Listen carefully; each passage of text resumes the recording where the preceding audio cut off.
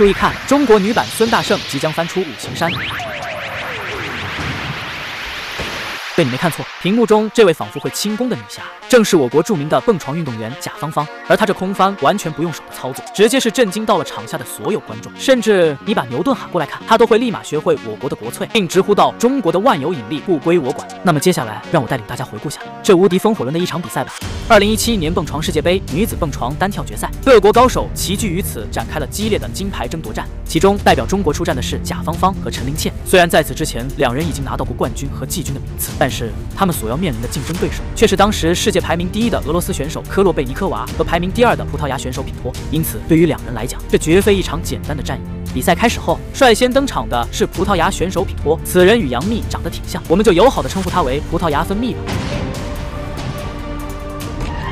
品托的这一套动作整体发挥不错，没有出现过大的失误，唯一不足的便是难度分较低。不过再低也是我等普通人可望不可及的，因此裁判给出了三十三点五零零的分数。紧接着登场的是俄罗斯选手科洛贝尼科娃，虽然他在之前输给了贾芳芳，但却依旧占据着世界第一的名次。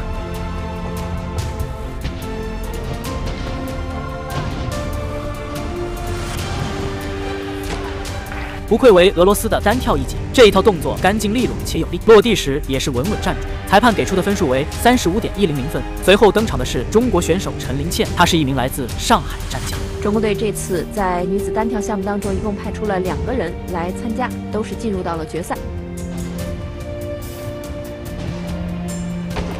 陈琳倩的这一套动作翻腾时，明显比前两名选手显得轻松，并且空中动作也是十分可观。裁判给出的分数为三十四点五零零分。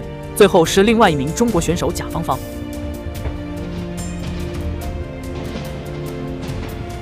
太高了啊！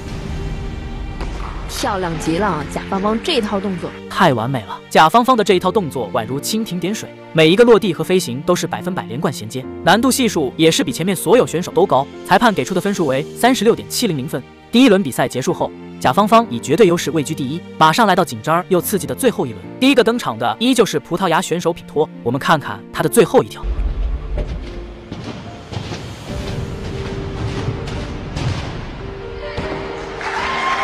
十分不错，品托的动作节奏相当连贯丝滑，每一次的落地和起飞都宛如精心设计过的一样，看上去赏心悦目。但还是难度系数较低的原因，裁判只给出了三十二点五零零分，总成绩为六十六点零零零分。紧接着是俄罗斯老将科洛贝尼科娃的最后一跳，目前的世界排位也是最高的，他在阿塞拜疆站拿到了女子单跳的第一名。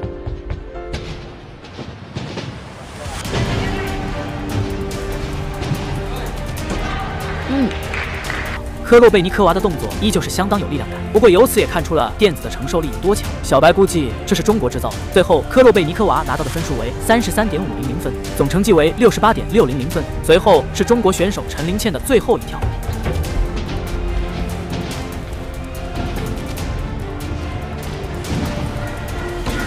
好的。陈灵茜的这一套动作完成的十分流畅，裁判给出的分数为三十三点零零零分，总成绩六十七点五零零分，没能超越科洛贝尼科娃。这样的话，夺冠的重任就落在了贾芳芳身上。而由于第一跳的超高分数，贾芳芳的最后一跳只要不出现失误，就一定会将金牌收入囊中。但简单的赢下比赛并不是她的目标，她要做的就是挑战自己的极限。因此，贾芳芳选择了恐怖如斯的九点三成套难度。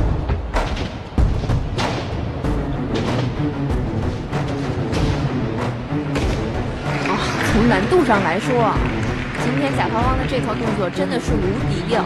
正如陈英老师说的那样，贾芳芳的这一套动作堪称无敌，别人还在为选择七点多的难度还感到担忧呢，他就已经标出了九点三的难度。果然中国人个个会轻功啊！最终贾芳芳这一跳拿到的分数为三十六点三零零分，总成绩为七十三点零零零分，她成功的为中国队夺得了一枚宝贵的体操金牌。